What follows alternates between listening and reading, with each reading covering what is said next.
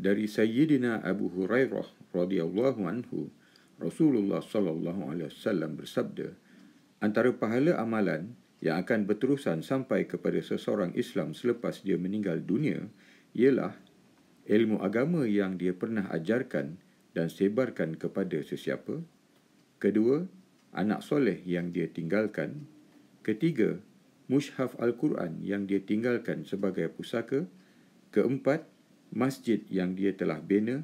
Kelima, rumah tumpangan musafir yang dia telah bina.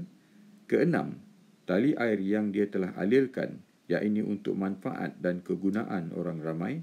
Ketujuh, sedekah yang dia telah berikan semasa dia masih sihat dan masih hidup dan pahalanya terus menerus sampai kepadanya selepas dia mati. Iaitu sumpama sedekah yang berbentuk wakaf. Hadis riwayat Ibnu Majah.